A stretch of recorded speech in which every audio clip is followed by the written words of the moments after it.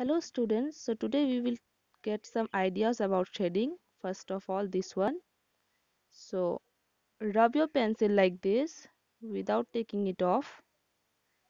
Like this you see. I am using 10B pencil here. You can use any 8B, 10B, 12B of your choice. Like this you see. You have to make layers like this. See. Now the second layer will be lighter than the first one. Like this, mixing up with the last one. See.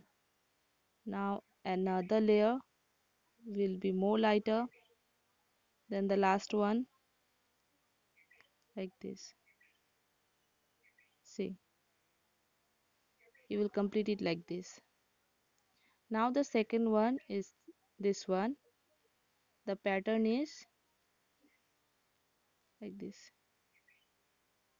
You have to take off your pencil like this like free-handedly like this see. It is different from the first one you see. Like this. That one was uh, without moving your pencil or taking off your pencil and this one is like this you see. Here also you can make layers lighter deeper of your choice.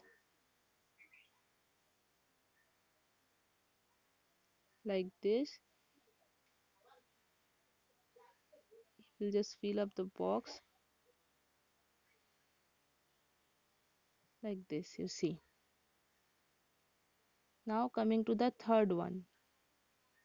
Here you just have to move your hand in circular motion like this you see. With the same pencil I'm doing here you just have to move your hand in circular motion. Here also you can make the shading deeper lighter of your choice. See.